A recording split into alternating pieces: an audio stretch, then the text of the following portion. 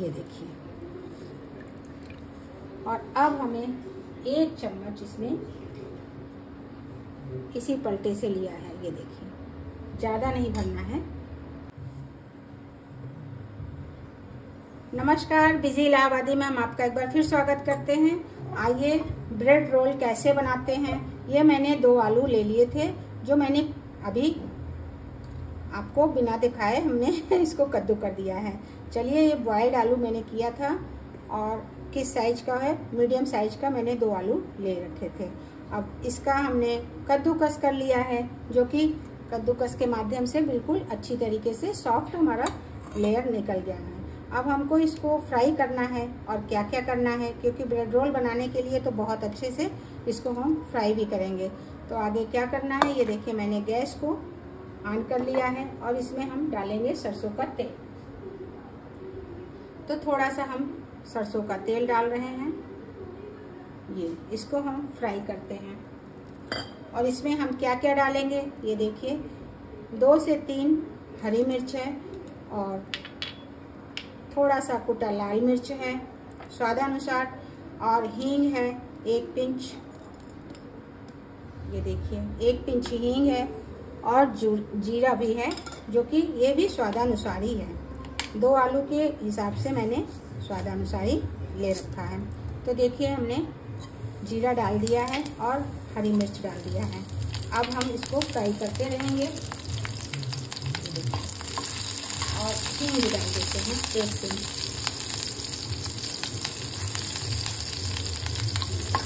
जब तक ये चलकेगा तब तक हम इसमें लाल मिर्च बाद में डालते हैं। सबसे पहले हम आलू फ्राई करना बहुत झटपट बनने वाली रेसिपी है क्योंकि रोल बनाने के लिए जब आलू हम फ्राई करते हैं तो उसका टेस्ट अलग आता है। और जो हम सब कुछ खिलाते हैं अलग अलग धनिया पाउडर अमचूर पाउडर जीरा जो भी मिलाते हैं। अब ये भूजने के बाद इसमें आप देखिएगा कितना अच्छा सा फ्लेवर आएगा तो सबसे पहले हम डालेंगे हरी राम जो कि इलाहाबाद में खास हमारा ये हरे राम का दमालू मसाला मिलता है। इसी से दमालू बनाइए, समोसे बनाइए ब्रेड रोल बनाइए सैंडविच बनाइए, जो कुछ भी बनाना है तो हरी का हम मसाला ले आते हैं। चलिए अब हम गैस को सिम कर लेते हैं और इसके बाद हम इसी में इसको फ्राई करेंगे तो तमारी मसाला डालेंगे। एक चम्मच हम आपको दिखा देते हैं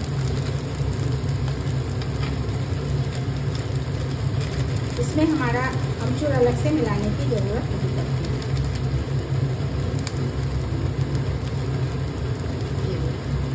टेस्ट के अकॉर्डिंग एक टेबल स्पून हमने इसमें वो मसाला मिला दिया दम आलू मसाला। अब हम आलू को फ्राई करते रहेंगे।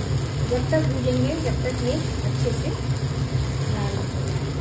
गोल्डन ब्राउन होने तक ही हम इसको भूजते रहेंगे और इसमें हम स्वादानुसार नमक भी डाल देते हैं।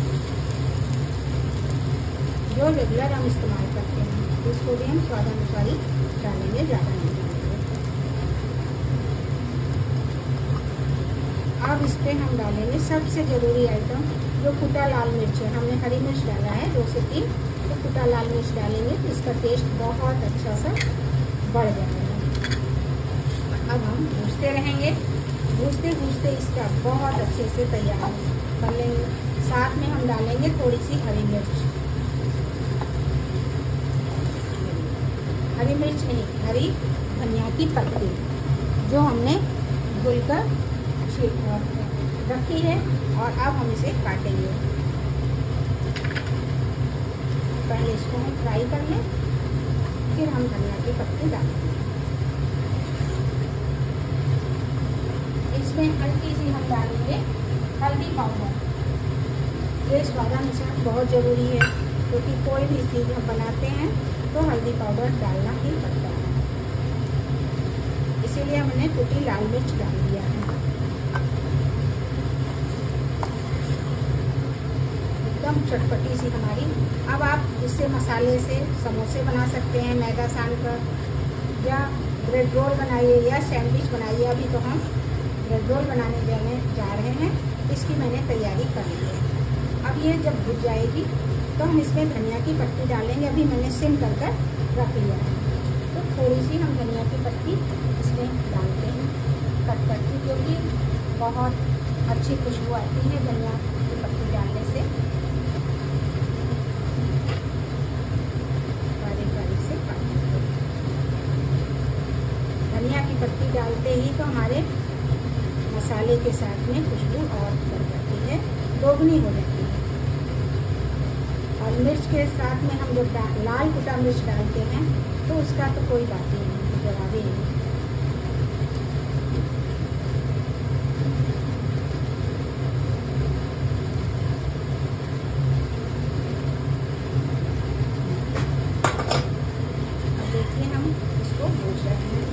बहुत बढ़िया कहीं भी चिपक नहीं रहा है। मोटे तले की कढ़ाई, पैन, कुछ भी आप ले लीजिए और उसमें अच्छे से तैयार ब्रेड रोल को छानना पड़ता है और सैंडविच को सेकना पड़ता है। बस इतना अंतर होता है। देखिए, आलू हमारा बिल्कुल रेडी हो चला है। कैसा भी आलू रहेगा और बहुत अच्छे से तैयार हो तो चलिए, अब हम गैस को ऑफ़ करते हैं और इसको भी ठंडा होने तक हम वेट करते हैं और कैसे ब्रेड में भरेंगे और छानेंगे तो हम आपको उसका प्रोसेस आपको आगे दिखाते हैं। थोड़ी सी धनिया की पत्ती और डालते हैं। ताज़ी आ गई थी सब्जियों के साथ में। तो हमने सोचा कि थोड़ी सी जो पहले धुल के रखी थी, इसको भी डाल लेते हैं। इससे बहुत ज़ोरदार आलू बन जाता है हमारा, क्योंकि चटपटा सा हमने बनाने की कोशिश की है। ये देखिए, धनिया की पत्ती जितनी पड़ती है, उतनी ही आलू हमारी और टेस्टी और क्रिस्पी होती है। ये देखिए, अब हमने सबको मिला लिया है और इसी में आलू को सेक लिया।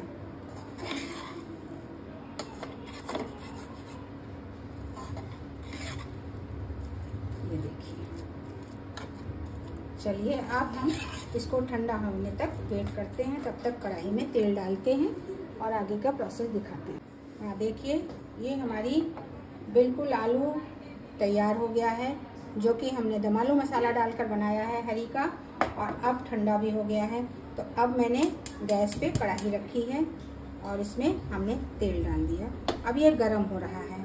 तो सबसे पहले मैंने ब्रेड ले लिया है। अब ब्रेड को हमने एक प्लेट में रखकर पानी लिया है, जो कि ये पानी से हम भिगोकर ही बनाते हैं।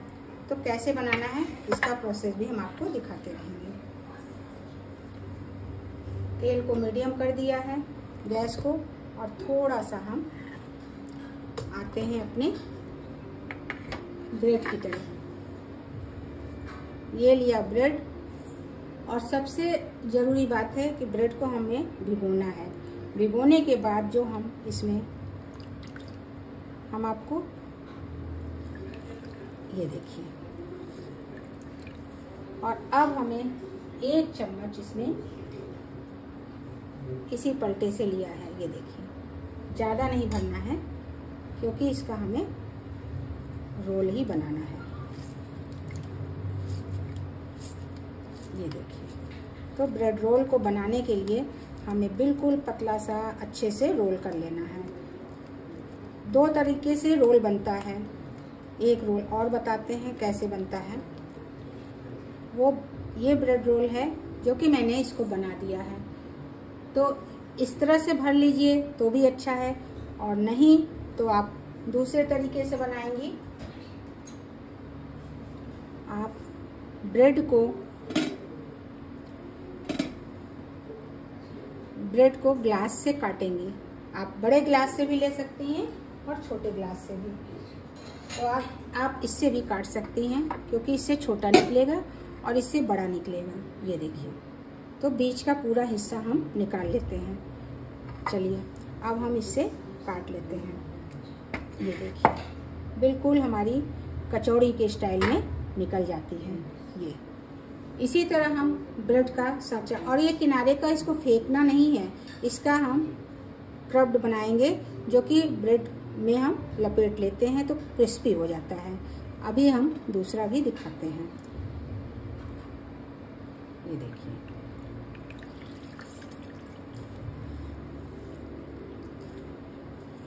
अब इसी तरह एक पीस और काटेंगे हम। ये देखिए।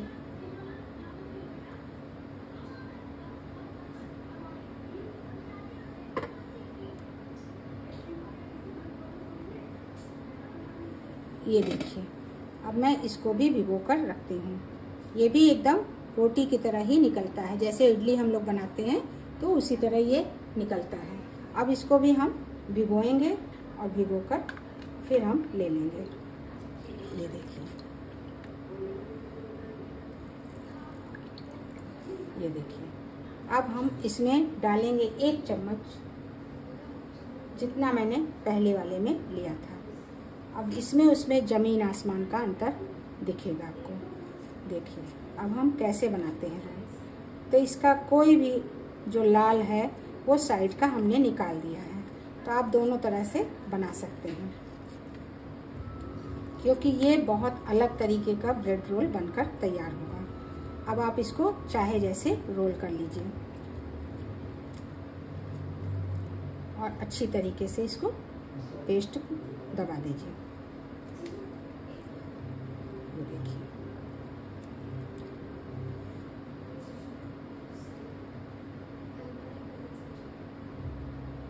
देखा? तो हमने इस तरह से बना दिया। अब चलिए अब हम दोनों को छान लेते हैं, आँच को तेज कर लेते हैं और इसमें उसमें आपको अंतर दिखाते हैं, दोनों को छान कर। और फिर हम दोबारा हम इसको भिगो कर एक फिर बनाते हैं, जो हमने समूचा बनाया है। तो इसका किनारा हम केवल निकालेंगे, ज़्यादा नहीं निकालेंगे, इसका किनारा निकालेंगे। अब आँच गर्म हो जा रही है तो हम इसको दूसरा भी तैयार करके दिखाते हैं। सिर्फ़ साइड से ही जितना लीजिए कि आपका बिल्कुल ब्राउन पीस बिल्कुल भी ना रहे। जिसका हम ब्रेड क्रम बनाते हैं तो मिक्सी में हम इसको तुरंत पीस कर रख लेते हैं और फ्रीजर में डाल दीजिए। तो आपको जब भी बनाना हो, लपेट लीजिए। ये देखिए। जब ये सैंडविच बनाएँगी तो आपको लगेगा कि सैंडविच कैसे बनेगा? बहुत अच्छी तरीके से बनता है। अब इसमें थोड़ा सा ही पानी हमें डालना है, ज़्यादा नहीं, क्योंकि बहुत ज़्यादा छोटा ना हो जाए। और इसमें भी हम एक चम्मच ही ये आलू डालेंगे। देखिए, कितना भी हम भर लें, पर हमको उतना ही भरना है।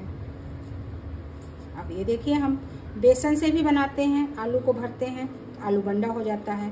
पर हम ब्रेड से बना रहे हैं। तो ये इसको हम बताते हैं कि ये हो गया हमारा ब्रेड रोल। ये देखिए। बहुत बढ़िया सा ये रोल हमारा तैयार। अब इसमें हमारा लालपन कहीं से भी अगर दिख रहा है तो आप बताइए कि इसमें कोई लाल जो साइड का मैंने ये निकाल दिया है तो चाकू से आप काट कर इसको निकाल दीजिए और इसका ब्रेड क्रम बना लीजिए। चलिए, इसी तरह हम इसको छान लेते हैं। बहुत अच्छी क्रिस्पी तैयार हो जाएगी।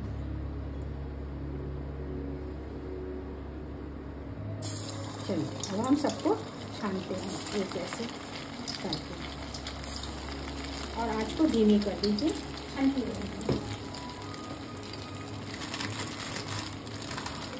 और साथ में फिर हम एक ब्रेड को पूरा ले लेते हैं गरम भिगो कर। ये देखिए।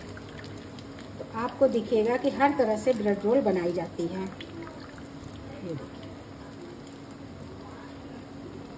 इसमें भी देखिए एक चम्मच हम डाल दिए हैं। ज़्यादा नहीं डालते हैं, क्योंकि आलू आलू ज़्यादा सबको पसंद नहीं आता है।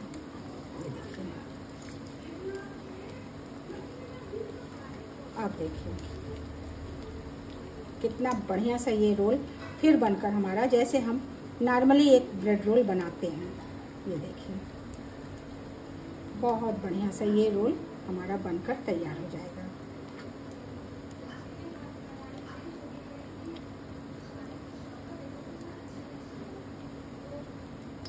देखिए अब हम इसको आँच को तेज करेंगे और पलटने भी वाले हैं।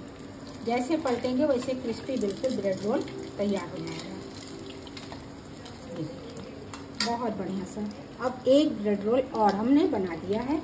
इसको हमने तलने के लिए डाल दिया है। चलिए, अब इसको साइड में रखते हैं। और कैसे सर्व करेंगे, उसको भी हम आपको दिखाते हैं।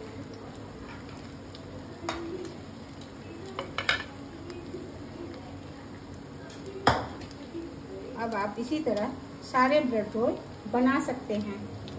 और हमने चलिए को ऑन कर दिया है। अभी हम ये इसको तल रहे हैं। बहुत बढ़िया सा क्रिस्पी सा हो जाता है। आप चाय के साथ खाना है या जैसे भी आपकी इच्छा है, आप वैसे खा सकते हैं।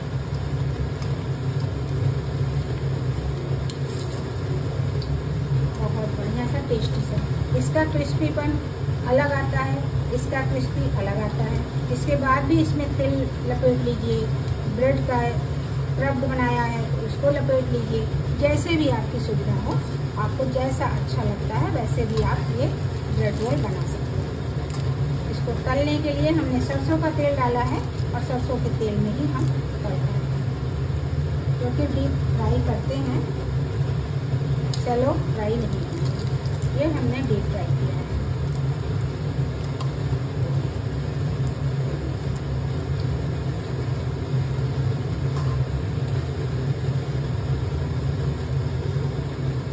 अब मैंने इसको निकाल लिया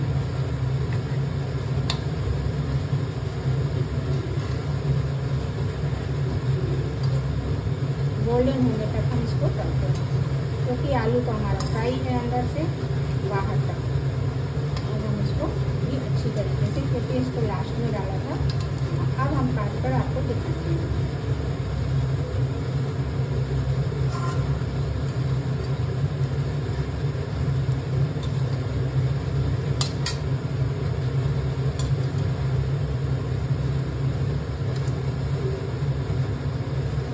बहुत बढ़िया सा ये फ्राई हो गया है अब मैं गैस को ऑफ़ कर देती हूँ सारे ब्रेड इसी तरह हम तल देते हैं। बच्चों को बहुत पसंद आता है ब्रेड रोल, चाहे टिफ़िन में दीजिए, चाहे सुबह शाम चाय कॉफ़ी के साथ लीजिए जैसे भी आपको खाना ये देखिए हमारा ब्रेड बनकर तैयार हो गया है। ये रोल है। क्योंकि तो सैंडविच बनाते हैं तो वो अलग बनता है। चलिए अब हम सर्व करके आपको दिखाते हैं। अब देखिए हमारा ब्रेड हर तरह से तैयार हो गया है। अब इसमें हम रखेंगे पहला, जो मैंने, क्रिस्पी कितना है, ये देखिए। हम आवाज़ करके आपको दिखाते हैं। ये देखिए, कितना क्रिस्पी हो गया है। हर ब्रेड को हम आपको इसी तरह बनाकर दिखाएँगे। और इसको टमाटो केचप के साथ में, आप इसको चटनी के साथ, टोमेटो केचप के साथ में या हरी चटनी के साथ में सर्व करके खाइए। आपस में शेयर भी कीजिए। अगर आप हमारे चैनल पर नए हैं तो प्लीज़ सब्सक्राइब करिए लाइक करिए शेयर करिए बेल आइकन प्रेस कीजिए, आने वाला वीडियो आपके पास इसी तरह पहुँचता रहेगा। थैंक यू अब मैंने इसको काटने के लिए सोचा था कि काट कर आपको दिखाती हूँ। तो देखिए, जैसे भी आपको काटना है काट कर दिखाती हूँ। बहुत गर्म है, आराम से काटिएगा। ये देखिए, आलू इसके अंदर कितना बढ़िया भरा हुआ है। और इसको भी काट कर दिखाते हैं, जिसको मैंने क्रिस्पी बहुत है।